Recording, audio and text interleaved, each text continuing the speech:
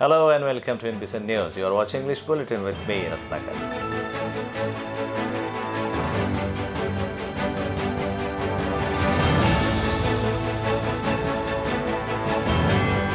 News in detail. The Nagpur Municipal Corporation and Orange City Water have planned to install flow meter at Vanjari Nagar ESR by taking a 12-hour shutdown on Friday from 10 a.m. onwards to 10 p.m. on the same day. Meanwhile, NMCOCW has also planned to clean Omkar Nagar ESR under Hanuman Nagar zone on November 27, 2020 under its ESR cleaning drive. Following this work, operations of four ESRs in Dhantoli zone, Vanjari Nagar Old ESR, Vanjari Nagar New ESR, Hanuman Nagar ESR and Reshimbag ESR will remain affected on Friday evening while water supply on November 28 will be with low pressure. NMCOCW have appealed to the citizens of the concerned areas to cooperate and if they have any complaints regarding water supply or need information, they can contact on toll-free number 1-800-266-9899 anytime. Concern over rising novel cases of COVID-19 in the city, the vigilant officials of Excise Department has decided to crack down on wine shops and restaurants over violating of guidelines issued by the district administration to contain the outrage of the virus-borne disease. Pramod Sonone, Excise Superintendent, informed that the department has formed six flying squads for surprise check. There have been a lot of complaints that liquor shops and restaurants flaunting COVID-19 norms. The administration has issued the standard operating procedure, but the rules are being often violated. This has been attributed in rising cases of the pandemic. While in which the Excise Department has formed six flying squads for surprise check and issued advisory to the officers to conduct strict action against violators. The superintendent said following guidelines is paramount to contain the spread of the pandemic.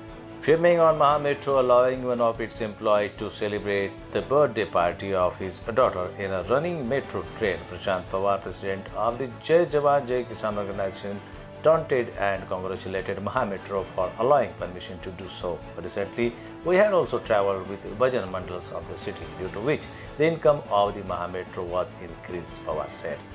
While addressing a press conference on Thursday, Pawar blamed that the flagship project of rupees 8,600 crores now is even facing shortage of funds to pay salaries of employees. Now, to increase non-business revenue, Mahametro must allow birthday parties, marriage and other programs between 10 pm to 6 am. Pawar taunted, he predicted that Mahametro shall become a failed project in the next few days. He appealed to hand over the project to a private company before Mahametro become bankrupt. Nandanvan police arrested a drug addict and recovered four stolen cell phones worth rupees 40,000 and also seized a Bajaj Pulsar 220 motorcycle with number MH49BN2956 from his possession. The total worth of the confiscated stolen goods is approximately worth rupees 1,30,000. Identified as a Sham Ramnath Rajput, the accused person is a resident of the Lakadganj slums. Rajput and two of his accompanied were involved in stealing cell phones and other valuable items from the area. After putting his behind the bars, police personnel have launched a search operation for two of his accomplices who are involved in several criminal cases.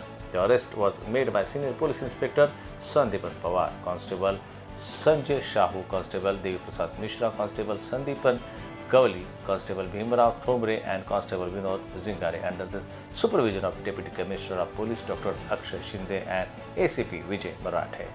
There are many famous markets in Nagpur city. These places are always crowded, but the number of toilets in the city proportionate to the population is negligible. This causes inconvenience to the citizens, especially to the women.